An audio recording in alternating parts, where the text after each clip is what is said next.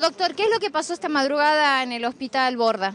No solo esta, madrugada, sino ahora mismo. En realidad, esta madrugada la policía entró, en, metropolitana, entró en forma violenta, es decir, rompiendo el portón que da en la calle Pedriel, sin ninguna orden que habilitara, ninguna orden de ni un fiscal, ni un juez, ni ninguno que le diera la orden o acto administrativo para que procedieran de esta forma. Aparentemente es para que ingrese una empresa privada que debe hacer un cerco perimetral. Nosotros estamos muy preocupados por esto porque hay muchos compañeros que están en el fondo del hospital y nos acaban de informar que aparte de seis móviles de la, metropolitana están entrando fuerzas de infantería y, atrás por la calle Pedriel están apostados también este, policía metropolitana. Acaba de entrar también eh, criminalística y está sacando, eh, tomando fotos y sacando filmaciones y no dejan entrar a los medios al fondo del hospital. Nosotros queremos denunciar esto.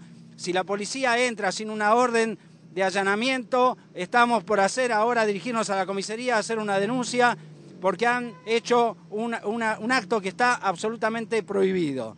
En la situación en que se encuentra en este momento el hospital y los hospitales de la ciudad, nos parece que esto es una avanzada que están haciendo, una avanzada más sobre la salud pública. Por estos días se vio que en el Santoyani, bueno, golpearon a unos médicos y demás y estaba el eje puesto en que no había, digamos, fuerza policial para cuidar. ¿Cómo se explica que ahora aquí hay más de ocho móviles y un montón de fuerza policial para entrar, digamos, como ustedes bien dicen, rompiendo un candado?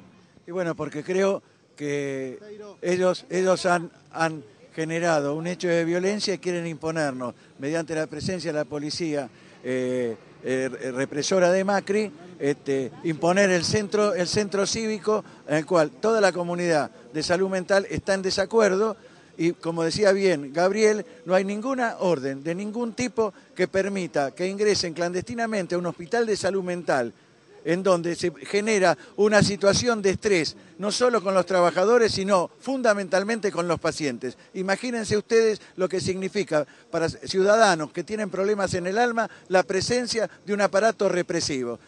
Realmente insólito, insólito que eh, Mauricio Macri pareciera que estuviera tejiendo una sumatoria de factores que concurren a que esta ciudad sea un despropósito para ser vivida.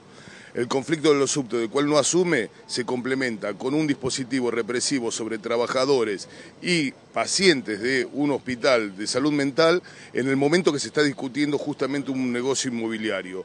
Realmente el ministro Montenegro, jefe de eh, ministro de Seguridad, en el día de ayer tenía que tener la capacidad de presentar un protocolo de la policía. En el día de hoy, sin ningún tipo de aviso, sin instrucción de jueces, con un asalto casi al estilo de SWAT, se hacen de un hospital al solo efecto de disciplinar a los trabajadores que defienden el capital social acumulado por el conjunto de la ciudadanía porteña, que son los hospitales de salud mental.